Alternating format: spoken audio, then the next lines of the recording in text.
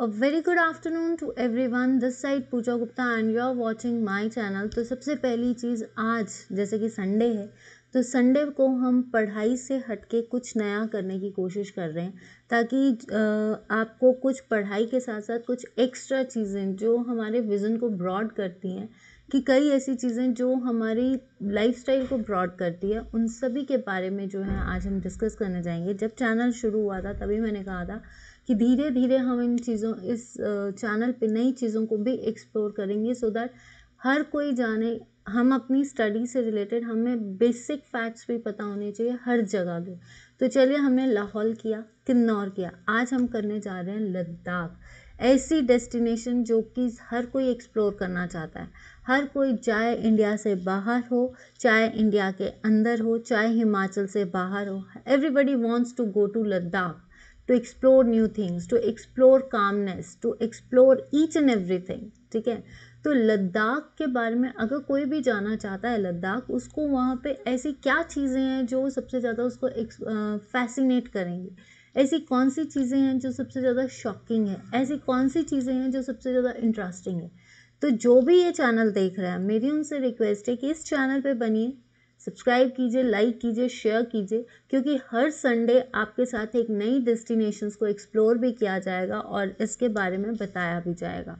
तो आज जो है हम आपके साथ करने जा रहे हैं कि इंटरेस्टिंग फैक्ट्स और सरप्राइजिंग फैक्ट्स कि व्हाट आर द मतलब क्या ऐसी चीज़ें हैं जो लद्दाख को अच्छा बनाती है, जन्नत बनाती है? आपको पता है कि लद्दाख एक यूनियन टेरिटरी बन चुकी है और ये जो यूनियन केंद्र शासित प्रदेश है तो आज गवर्नमेंट आज क्योंकि ये हाईएस्ट प्लेस है, यहाँ पे लाइफ जो है इट्स बहुत कम है। लाइफ इन देंस कि लोग बहुत कम रहते हैं। तो ये जो लद्दाख है, यहाँ पे प्रॉपरली एक, कह सकते हैं, एक अच्छी तरह से सेटअप बनाने के लिए नई नई टेक्नोलॉजीज़ ने जो है अभी इन्हांस किया है। नई नई डेवलपमेंट्स जो हैं गवर्नमेंट कर रही है ताकि लद्दाख को भी आगे लाया जा सके। तो लद्दाख को आगे लाने के लिए इसका मतलब यहाँ पे कुछ ऐसी चीज़ें हैं जिनको हम एक्सप्लोर कर सकते हैं। तो चलिए करते हैं एक्सप्लोर कि आज इसमें है क्या। आप कई लोगों को पता होगा कि लद्दाख में क्या है। चलिए हम भी इसमें शुरू करते हैं। तो बेसिक फैक्ट्स हैं। सबसे पहला fact facts about Leh and Ladakh interesting भी हैं इंपॉर्टेंट भी हैं एंड शॉकिंग भी है। तो सबसे पहली चीज़ यहाँ पे highest residential point of human settlement आप सिर्फ़ सुन लीजिए कि क्या है। कहते हैं कि इस जगह का सबसे ऊँचा पॉइंट जहाँ पे लोग रहते हैं, वो कौन सी जगह है? सुरू एंड झांसकर वैली सुरू आपको है Ladakh is lies in Zanskar valley Zanskar जो तिब्बत और तिब्बत को जोड़ता है। ठीक है, लद्दाख और तिब्बत को भी जोड़ता है। तो ये जो आपका हाईएस्ट रेजिडेंशियल पॉइंट है ह्यूमन सेटल जहाँ पे लोग आज भी रहते हैं, जैसे ये पिक्चर्स में देखा है तो ये कौन सी है? ये एक ऐसा भाग है जो एरिया सुरू वैली और झांसकर वैलीज के बीच में है, ठीक है? जो हिमालयाज और झांसकर रेंजेस से कवर्ड है, क्योंकि स्नो ही है विंटर एरिया है तो सबसे पहली चीज़ कि ऐसी कौन सी जगह हैं लद्दाख में जहाँ पे लोग रहते हैं, वो पता होनी चाहिए तो वो है सुरू और झांसकर वैली, जहाँ पे सबसे मेन ठीक है, और सबसे जैसे कहते हैं, रफली एंड लार्जली इनहैबिटेड, इतने ज़्यादा इनहैबिटेशंस नहीं है। सबसे ज़्यादा इनहेबिटेड कौन सा एरिया है रैंगडम जो कि कितनी हाइट पे फोर्टी फोर हंड्रेड मीटर्स की हाइट में है। और झांसकर का गेटवे कौन सा है? Pensi La is the gateway of Zanskar तो ये इंडिया की सबसे ऊँची हाईएस्ट सेटलमेंट कौन सी है? तो अगर हम इसमें देखें तो सबसे पहली चीज़ आपको झांस, लद्दाख के बारे में पता होना चाहिए कि ऐसी कौन सी जगह है जो सबसे ज़्यादा ऊंचाई पे सेटल्ड है। तो वो है आपकी सुरू और झांसकर वैली। ठीक है? झांसकर वैली का गेटवे है पेंसिला। ठीक है? अगर जिसको ये लगता है कि ये इंग्लिश में है तो इंग्लिश में है, लेकिन हिंदी में आपको क्लियर किया जा रहा है।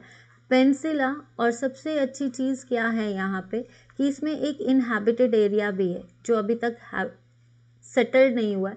हाईएस्ट है दैट इज़ कॉल्ड रैंगडम और ये रैंगडम जो है, ये कितनी ऊंचाई पे फोर्टी फोर हंड्रेड मीटर्स की ऊंचाई पे है।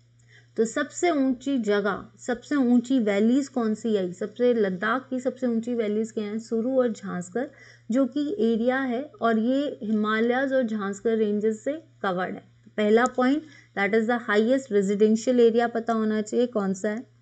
देन हाईएस्ट ब्रिज वर्ल्ड का सबसे ऊँचा ब्रिज कौन सा है? तो ये है आपका लद्दाख का ब्रिज लद्दाख का है बेले ब्रिज। इसको क्या बोलते हैं? इसमें सबसे और एक इंटरेस्टिंग पॉइंट कि वर्ल्ड का सबसे ऊँचा ब्रिज बेले ब्रिज, जिसको आर्मी ने बनाया था। कब बनाया था? 1982 में। कितना मीटर लंबा है? 30 मीटर लंबा है। और ये भी किसके बीच में आता है? सुरु और द्रास रिवर्स जो हैं वहाँ पे, झांसकर रिवर्स ही हैं। ये हिमालयन माउंटेन्स इनको कनेक्ट करता है। ठीक है? Bridge made up of latest steel. ये स्पेशल स्टील है जो कि आर्मी द्वारा ये ब्रिज बनाया गया है और ये सिर्फ़ किसके लिए ज़रूरी है? Military applications. क्योंकि आपको पता है, लद्दाख में हमारी सारी सिक्योरिटी फोर्सेस रहती है। तो उन सिक्योरिटी फोर्सेस के लिए ये कनेक्शन बनाया गया है ताकि यहाँ से वो हमारे तिब्बत की बाउंड्रीज को बचा सके। ठीक है? चाइना से हमें बचा सके। तो लद्दाख का जो एरिया है that is called built by India army in Leh Ladakh, ठीक है? और ये सरा, किसने बनाया? सबसे ऊँचा ब्रिज बेले ब्रिज है तो वो 1982 में बनाया 30 मीटर्स लॉन्ग है और ये सुरु और द्रास रिवर्स के बीच में है। तो ये याद रखना है कि यहाँ का, इस ब्रिज की खास बात क्या है कि ये स्टील का बना है। लेटेस्ट स्टील का बना and basically for the military applications तो सेकंड पॉइंट ये आप वहाँ पे जाकर लद्दाख से, जब आप एंटर करते हो, आपको ये ब्रिज दिखता है तो पहली चीज़ यहाँ का सबसे ऊँचा ब्रिज ये है। फिर जब आप आगे एंटर करोगे तो कौन सी सेटलमेंट्स कहाँ पे लोग रहते हैं तो आपको वो पता चलेगा सुरू एंड झांसकर वैलीज ठीक है? वहाँ पे जाकर ये देखना एंड द सबसे ऊँचा सेकंड टेलीस्कोप ठीक है? अगर सबसे ऊँचा देखा जाए इंडियन एस्ट्रोनॉमिकल ऑब्जर्वेटरी जो है सबसे ऊँची, वो कहाँ पे है? हैनल पे है। ठीक है? और सेकेंड हाईएस्ट ये सबसे सेकेंड हाईएस्ट है। अब, अभी कौन सा है? सबसे बड़ा कौन सा वैसे? ग्रे कैनरी है राइट तो ये उन, कितनी ऊंचाई पे? 45 सबसे पहली चीज़ क्या है कि ये जो एरिया है, इसका, इस टेलीस्कोप की बात क्या है? इस टेलीस्कोप से आप क्लियर स्काई दे सकते हो। जब भी कोई लद्दाख जाएगा, इस टेलीस्कोप के थ्रू आप क्लियर स्काई देख सकते हो, क्योंकि लद्दाख एक ऐसी जगह है जहाँ पे विंटर्स हैं। जहाँ पे कोई डस्ट नहीं है, कुछ भी नहीं है। मतलब आपको यहाँ पे धुंधला नहीं दिखेगा। This is it is the free from जितनी भी अर्बन सिटीज़ हैं, वहाँ से यहाँ पे पॉल्यूशन बहुत कम है। क्लीन है, हवा ठंडी है। हवा ठंडी है प्योर और जिसको बोल सकते हो, आपको प्योर हवा मिलेगी। इस सच एटीट्यूड्स में ये हवा जो है, वो शुष्क होगी क्लियर होगी। ड्राई है बट क्यों? क्योंकि ठंडी है, ठंडी हवाएँ चल रही है। और यहाँ पे आप इस टेलीस्कोप के थ्रू हमारी जो आकाश गंगा गैलेक्सी है, उसकी आप पूरा विज़न कर सकते हो। इवन आप पैंगोंग लेक की भी क्लियर स्काई पिक्चर भी ले सकते हो आप, ठीक है? तो यहाँ पे इसको बोल सकते हैं कि जैसे इस पिक्चर में दिखाया गया है कि आप यहाँ से क्लियरली स्काई तो जब भी लद्दाख जाओ, इस टेलीस्कोप के थ्रू रात का विज़न ज़रूर देखिए। कि जैसे अगर हम इस दुनिया में देखें तो जहाँ पे भी देखो पॉल्यूशन है, हमें रात को इतने क्लियर स्काइज नहीं दिखते मतलब स्टार्स नहीं दिखते हैं तो this is the amazing effect कि वहाँ पे जाकर अगर हमने सारी चीज़ों को एक्सप्लोर किया, पर वहाँ की रात को देखना इज़ सो स्पेक्टिकुलर कि आप वहाँ पे देख सकते हो लाइट ऑफ़ स्टार्स जितनी भी मतलब इतना क्लियर है कि वहाँ पे लाइट जो स्टार्स की लाइट है, वो भी इतनी इफ़ेक्टिव करती है कि रात को आप क्लियर स्काई देख सकते हो। और ये सबसे ज़्यादा नुब्रा वैली में भी ज़रूर है, ठीक है? तो सबसे पहली चीज़ an attitude of forty five hundred meters Indian astronomical observatory कहाँ पे है? हानल में है, ये सेकंड हाईएस्ट टेलीस्कोप है। वर्ल्ड का दूसरा ऊँचा टेलीस्कोप कहाँ पे है? लद्दाख में है। तो अभी आपने देखा है कि गवर्नमेंट ने लद्दाख में एक सबसे ऊँचा मोबाइल थिएटर भी बनाया, ठीक है? तो एक और चीज़ है, लद्दाख में सबसे ऊँचा मोबाइल थिएटर भी जो है, हाल ही में सेटअप किया गया सितंबर में, राइट? तो ये चीज़ भी याद रखना। नेक्स्ट आता है, नेक्स्ट पॉइंट है आपका, जैसे डेजर्ट, क्योंकि लद्दाख एक डेजर्ट है, कोल्ड डेजर्ट है, क्योंकि ये बर्फ़ से ढकी रहती है, ठीक है? तो लद्दाख को, क्योंकि बर्फ़ से ढकी रहती है, ड्राई है, डेजर्ट है, क्योंकि यहाँ पे कोई ग्रीनरी, इतनी ज़्यादा आपको ग्रीनरी नहीं मिलेगी आपको पता है, ऊपर जब ये सबसे हाईएस्ट पॉइंट पे है तो यहाँ पे ऑक्सीजन का लेवल भी कम होता है, पर हवाएँ बहुत ठंडी है। तो यहाँ पे एक ऐसी जगह है, जहाँ पे जैसे हमारे कैमल्स आपको पता है डेजर्ट में कैमल्स रहते हैं राइट डेजर्ट में कैमल्स क्यों रहते हैं? क्योंकि वो रेगिस्तान की गर्मी को पे सर्वाइव कर सकते हैं। सेम थिंग विद द यहाँ पे लद्दाख में अगर आप, जैसे हम राजस्थान जाते हैं, जैसलमेर जाते हैं तो वहाँ पे हम कैमल की सवारी करते हैं। तो जब हम लद्दाख जाते हैं तो वहाँ पे भी हमें कैमल्स मिलते हैं but these are the humped camels twin humped camels camel का एक हम्प होता है, लेकिन इसमें दो हम्प्स हैं। ये होते हैं ट्विन हैम्प कैम्पल्स जो पर्टिकुलरली ठंडे इलाके में रहते हैं। तो ऐसी वेराइटी लद्दाख में भी मिलती है, इसको बोलते हैं बेक्ट्रेन कैमल स्पीसीज इसका नाम क्या है कि आपको वहाँ पे बेक्ट्रेन कैमल स्पीसीज मिलेंगी, कहाँ पे? नुब्रा वैली में। नुब्रा वैली को वैली ऑफ़ फ्लावर्स भी कहते हैं, इसको डुमरा भी कहते हैं। इस वैली का लोकल पीपल वहाँ पे डुमरा कहते हैं, इसको नुब्रा वैली को। और वैसे ये क्या है? Valley of flowers. ये तीन आर्म मतलब ये ऐसा एरिया है जो कि ट्राई आर्म्ड वैली है। मतलब तीनों तरफ़ से आर्मीज ही आर्मीज घेरे नुब्रा वैली जो तिब्बत को जोड़ती है नुब्रा वैली जो लद्दाख को जोड़ती है, एक साइड इसकी और बाउंड्री है। तो ये तीनों साइड से कवर्ड है means this is the tri armed valley और इसमें जो है, इसको कौन करता है? Nubra and Shyok rivers Nubra and Shyok rivers किसकी ट्रिब्यूटरीज हैं? इंडस की ट्रिब्यूटरीज है। तो सबसे पहली चीज़, लद्दाख गए, बड़ा ब्रिज देखा। टेलीस्कोप भी एक्सप्लोर करो एंड जाकर वहाँ पे इनहेबिटेड एरियाज़ को भी देखें अब आता है, अगर आप डेजर्ट में गए हो, क्योंकि इसको कोल्ड डेजर्ट बोलते हैं तो अगर आपने वहाँ पे जाकर रेयर ट्विन हम्ड कैमल्स नहीं देखे, उनकी सवारी नहीं की स्पेशली फॉर नुब्रा वैली को ज़रूर फोकस कीजिए। Nubra valley is the very beautiful valley जहाँ पे सिर्फ़ नुब्रा वैली में आपको ये कैमल्स देखने के लिए मिलेंगे, ठीक है? तो नुब्रा वैली में ही हमें ये कैमल्स देखने मिलते हैं। और ये कैमल्स की स्पीसीज़ क्या हैं आपकी? यहाँ पे कैमल्स की स्पीसीज़ क्या हैं आपकी? ट्विन हम्प्ड कैमल्स ये कौन से हैं आपके? ट्विन हम्प्ड कैमल्स तो यहाँ तक किस किस को भाई इंटरेस्टिंग लगा? अगर इंटरेस्टिंग लगा है तो बने रहना इस चैनल पे, क्योंकि नई नई चीज़ों को मैं एक्सप्लोर करने की पूरी कोशिश करूँगी। फाउंड ओवर सिंगल हम्प्ड एक सिंगल हम्प्ड भी है ओवर सिंगल हम्प लेकिन सबसे कोर जो अट्रैक्शन है वो यही कैमल्स हैं। और साथ ही साथ ये नुब्रा वैली में है अगर कोई भी लद्दाख जाए इन फ्यूचर कभी भी प्लान पर प्लान ज़रूर कीजिए लद्दाख जाने का। प्लान ज़रूर कीजिए आप ले लद्दाख जाने का, क्योंकि इससे अच्छी जगह, मुझे लगता है जिसको अपनी ज़िंदगी में मतलब जो कहता है ना लाइफ में इतना बिज़ी शेड्यूल है, उस बिज़ी शेड्यूल में हमें लद्दाख को एक्सप्लोर ज़रूर करना चाहिए। क्योंकि कई चीज़ें ऐसी है India is full of diversity मतलब डाइवर्स डेस्टिनेशन है। हम अब्रॉड जाते हैं, ठीक है? हम अब्रॉड भी चीज़ों को एक्सप्लोर करते हैं। तो same thing with the why not India ऐसी कई जगह हैं जो सबसे सुंदर जगह हैं, जो इंडिया को सुंदर बनाती है। लेट्स एक्सप्लोर इंडिया ऑल्सो तो जो भी लोग हैं जिनका विज़न है कि नहीं यार, इस जगह पे जाना तो इस जगह पे जाइए, इन चीज़ों को रैलिश कीजिए। यहाँ की जो मेन कुजीन है that is called thukpa. Chinese dish है चाइनीज़ नूडल्स का एक सूप बॉल है। तो थुक्पा को भी ट्राई कीजिए, जो यहाँ का थुक्पा जो होता है, जैसे कईयों ने पिया भी होगा, ये थुक्पा एक कुजीन है। ठीक है, मैं यहीं पे बता देती हूँ, यहाँ पे कुजीन को ज़रूर ट्राई कीजिए।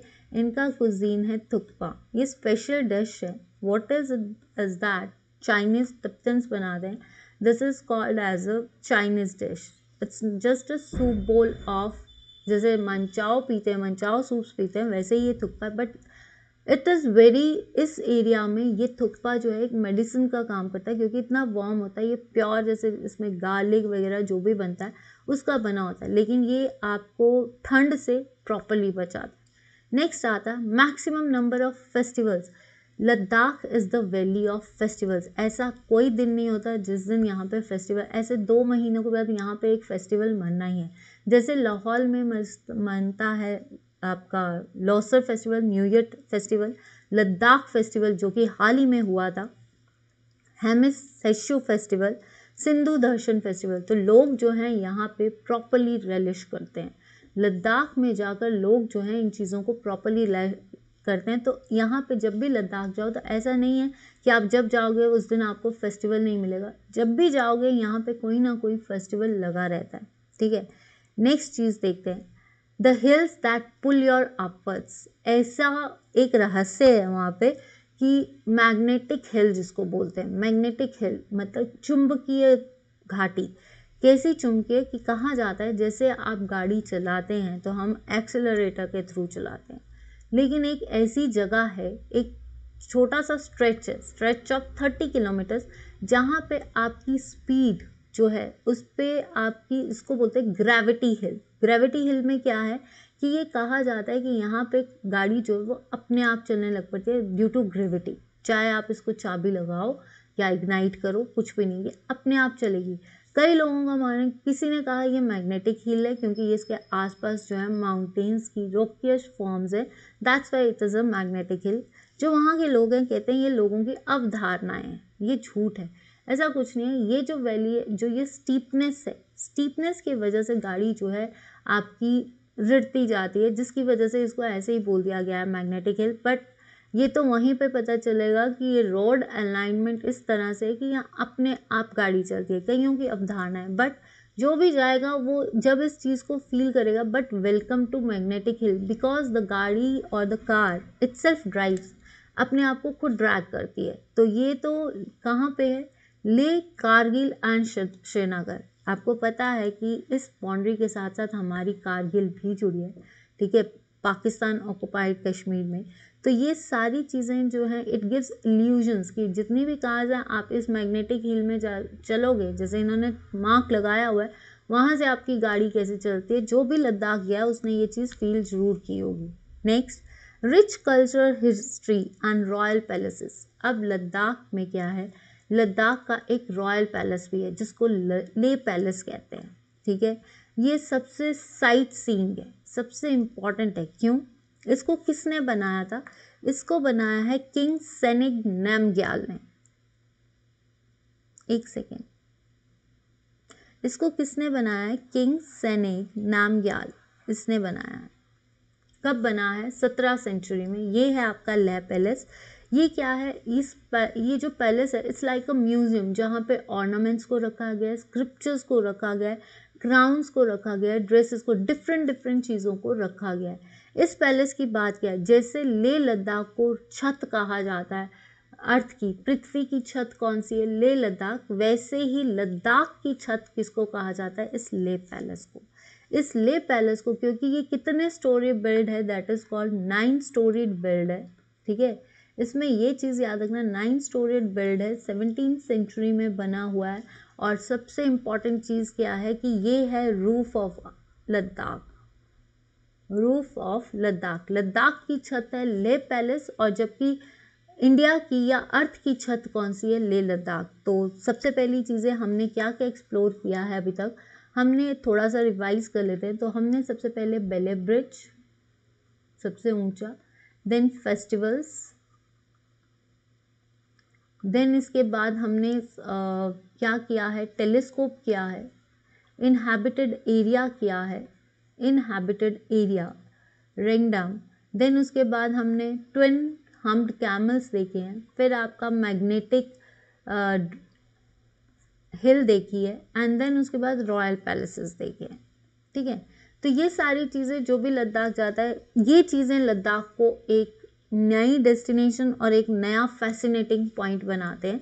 तो जो भी लद्दाख जाए जाए ज़रूर और इन चीज़ों को एक्सप्लोर ज़रूर करें। और जाने से पहले, लद्दाख जाने से पहले आपके पास वो सारी चीज़ें होनी चाहिए क्योंकि आपको वहाँ पे कुछ नहीं मिलेगा। आप अपना टक लेकर जाइए, आपका बेडिंग आपकी प्रॉपर होनी चाहिए। अपना, जैसे बोलते हैं ना बेड बैग होता है, वो लेकर जाइए।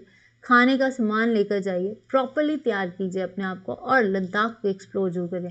अगर यहाँ पे जाकर बाइक राइड नहीं ली तो कोई मज़ा नहीं है। यहाँ पे एडवेंचर्स हैं बाइक राइड है कार राइड है, इन राइड्स को भी ज़रूर लें, ठीक है? सबसे ज़्यादा मज़ा तो यहाँ पे बाइक राइड का होता है। और आपको पता है कि लद्दाख में जब तक हैं जहाँ की शूटिंग भी हुई है।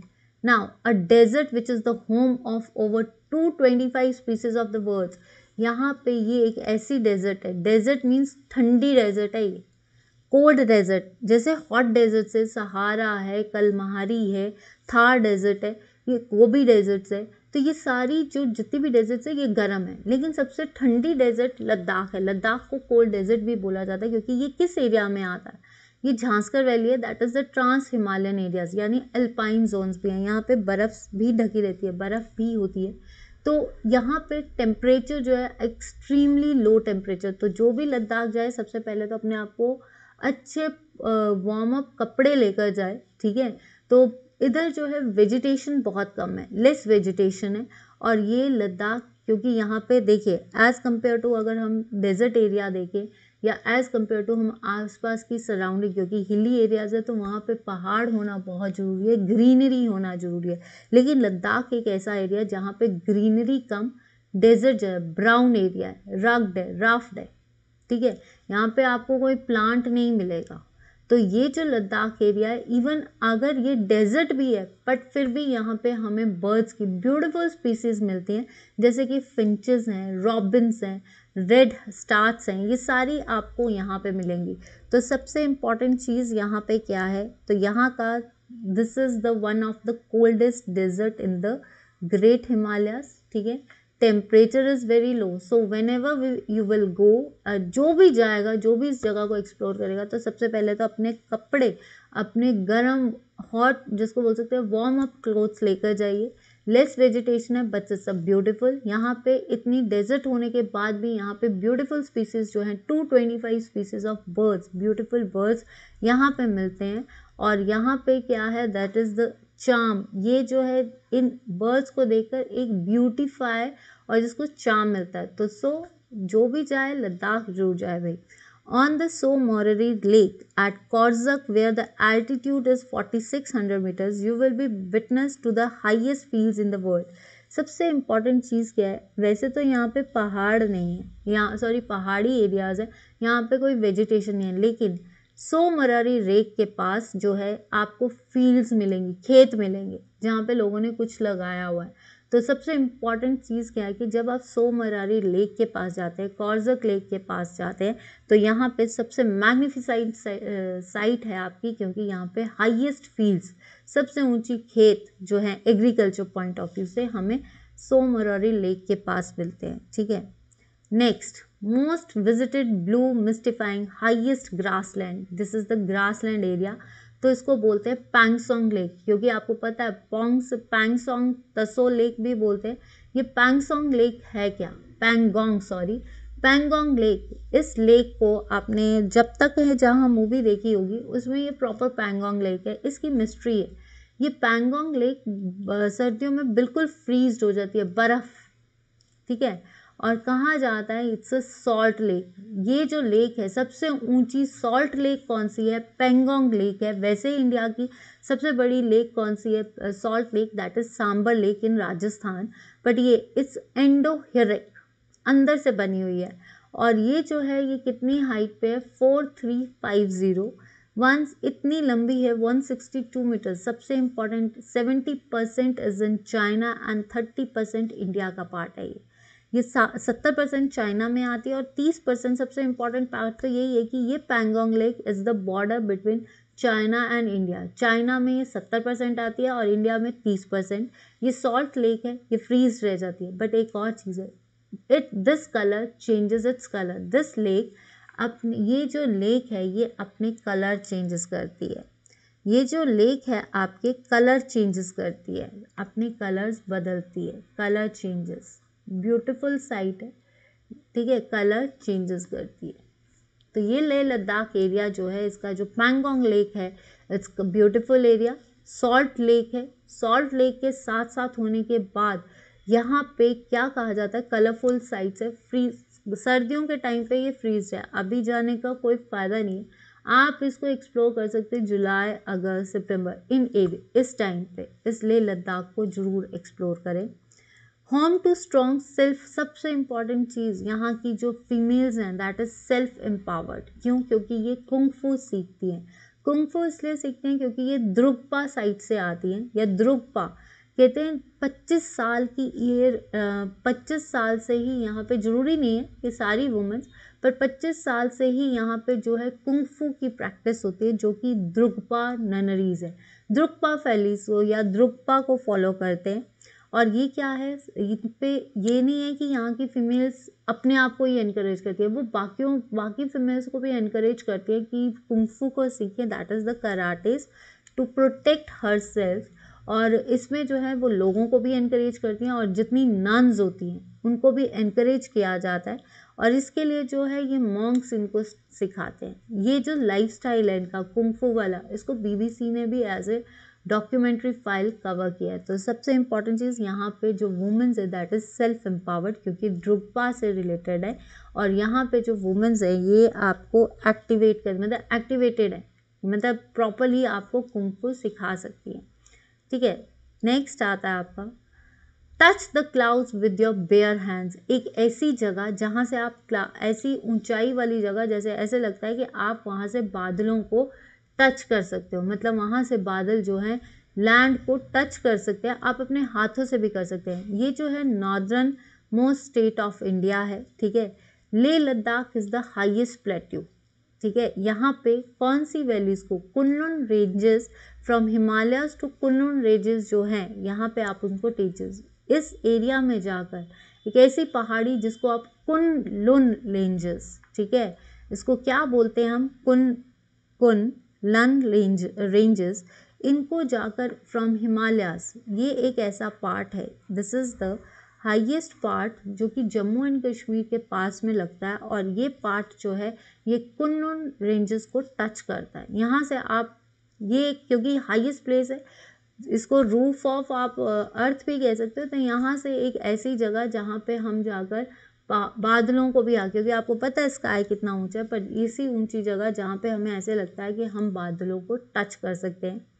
Best chance for the road trip road trip Khardungla top सबसे हाईएस्ट मोटरेबल रोड्स के लिए कहा, क्या कहा जाता था पहले?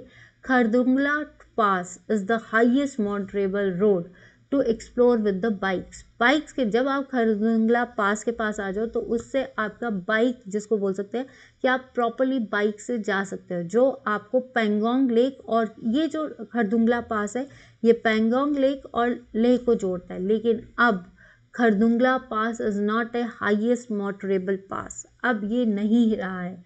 अब जो सबसे ऊँचा बन रहा है, ये हाल ही में जैसे सितंबर अगस्त सितंबर में, इसको ले और पेंगोंग लेक को ही जोड़ा है। ये जो है किसके? लद्दाख के एमपी ठीक है? लद्दाख के जो एमपी है, आपको पता है लद्दाख यूनियन टेरिटरी है लेफ्टिनेंट गवर्नर कौन है? इनके आर के माथुर। ठीक है? तो यहाँ पे लद्दाख में जो ये हाईएस्ट एक हाईएस्ट मोटरेबल रोड बनाई गई है। अभी ये कंस्ट्रक्शन चल रही है। दिस इज़ और ये कौन कर रहा है? बॉर्डर रीऑर्गेनाइजेशन ठीक है?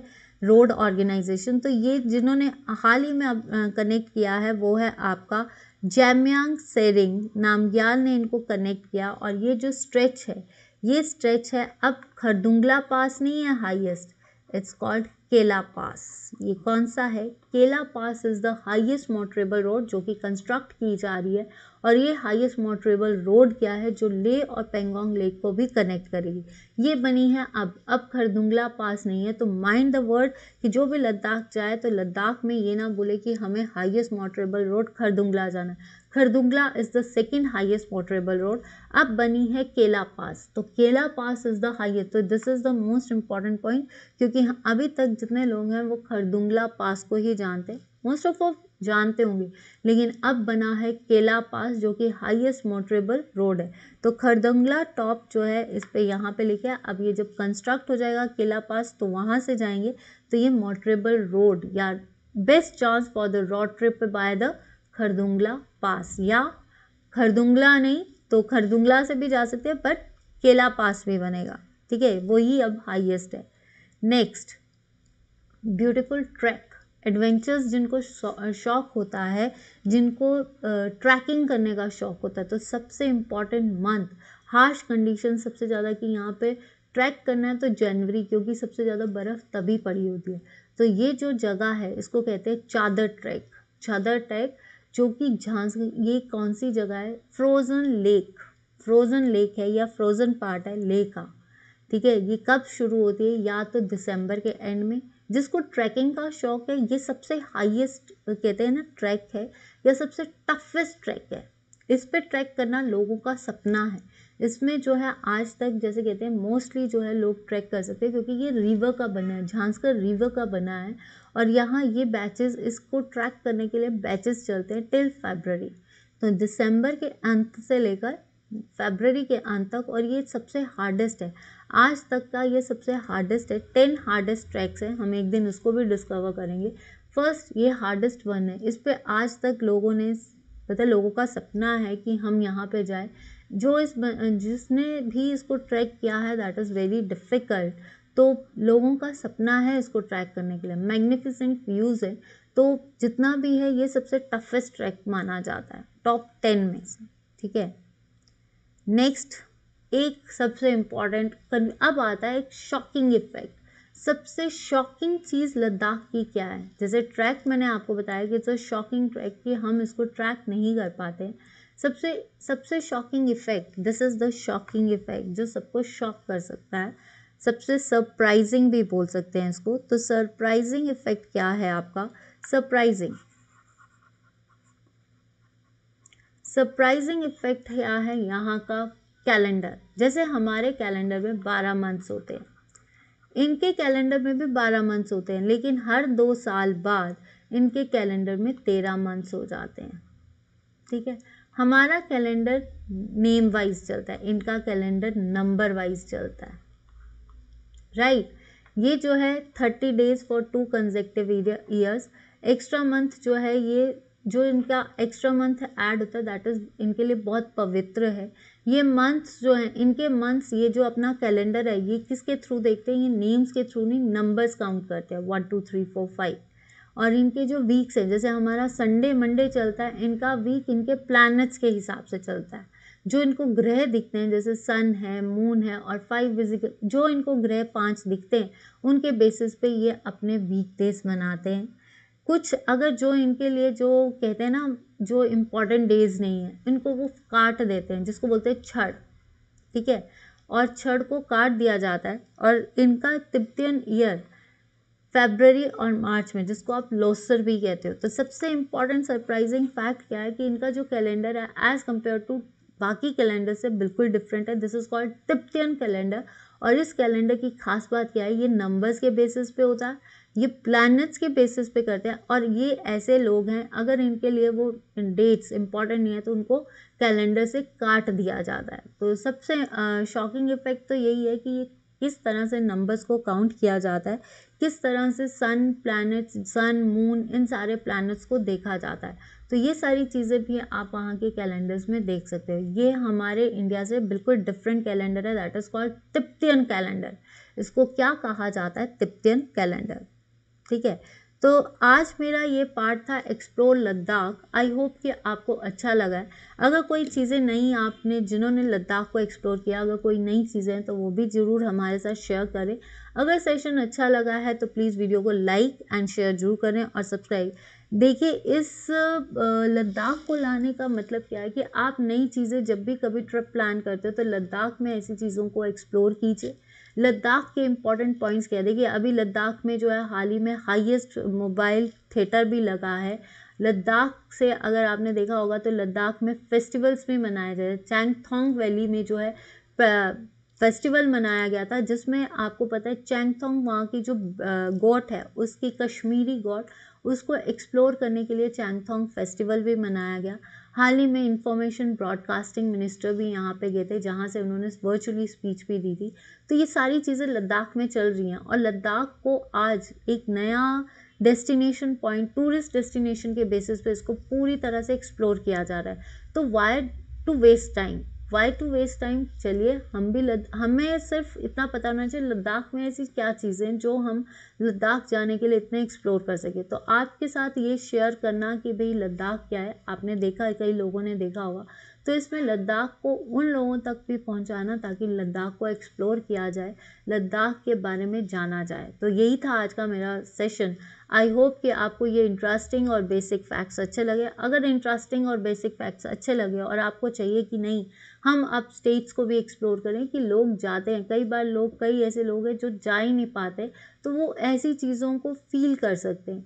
तो उनके लिए भी है तो अगर आपको चैनल अच्छा लगा है और ये इंपॉर्टेंट इन्फॉर्मेशन आपको इंटरेस्टिंग इफेक्ट्स भी अच्छे लग रहे हैं तो चलिए चैनल को लाइक शेयर एंड सब्सक्राइब ज़रूर करना। जितना हो सकता है वीडियो को शेयर कीजिए और हर संडे हम आपके साथ डील करेंगे। और प्लीज़ आज मेरी आपसे रिक्वेस्ट है कि जो आपका रात का सेशन है, आठ बजे, उसको ज़रूर देखिए, क्योंकि उसमें मैं आज आपके साथ एक इंपॉर्टेंट डिस्कशन शेयर करने जा रही हूँ तो उस चीज़ को भी देखिए, ठीक है? तो चलिए, आज के लिए इतना ही, मिलते हैं आपसे नेक्स्ट संडे को एक नए टारगेट के साथ। तो चलिए bye take care and enjoy this session